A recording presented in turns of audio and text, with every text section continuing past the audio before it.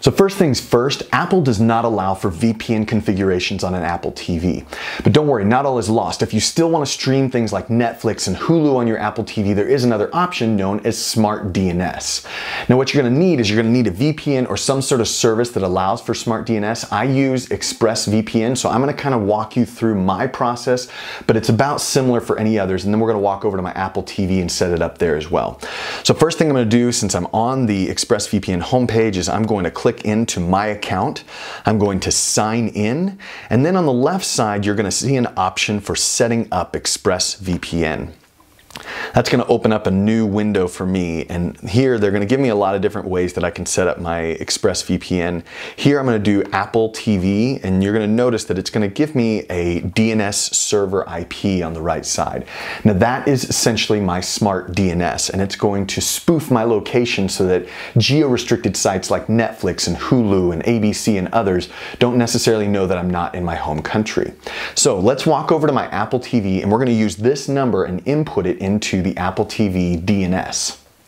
Okay, so here we are on the home screen of the Apple TV. Yours might look a little different. There are different versions as well as upgraded versions if you're looking at this further in the future, but more than likely it's gonna have the same general look, and that is you're gonna be looking for that settings app on the top right. So it looks like pretty much the same settings app that you'd find on your iPhone or your Mac. You find that settings app and then you go into general and you find your wireless network, whatever name that is. Once you click on that, it's going to give you the option to set set up either an automatic or a manual DNS. So I'm gonna click on here into the manual DNS and using that number, that 12 digit number that ExpressVPN gave me for my smart DNS, I'm gonna input that number into my manual DNS settings on my Apple TV.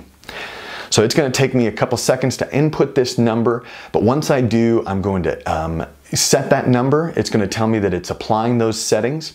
But there's still one more thing that I wanna do. It, this perhaps is going to work, but it's better if you go back a little bit and scroll down until you find the restart setting. You don't want to reset your Apple TV, you just want to restart it so that the settings and the connection with your wireless network and with the DNS is kind of reset and ready to go. So once you do that and go back to your home screen, you should be ready to go. Open up your Netflix app, open up Hulu, open up whatever you want to use, and you should be able to stream those services without any problem. Again, I use ExpressVPN and their smart DNS settings. It's worked for me very well. If you enjoyed this video, please give it a thumbs up, subscribe to the channel right here, or view more VPN tips in my playlist that you find right there. Take care.